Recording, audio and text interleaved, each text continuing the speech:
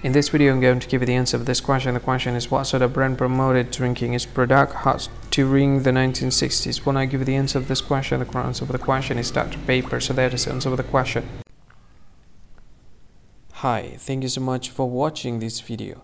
If you find this video is very useful, you can help this channel to grow by subscribing this channel. Please this subscribe button and don't forget to like this video. And if you find this video is not really good or you don't really like this video or you kind of feel that it's a little bit offensive or something like that, you can click this one, dislike button. You can do that anyway.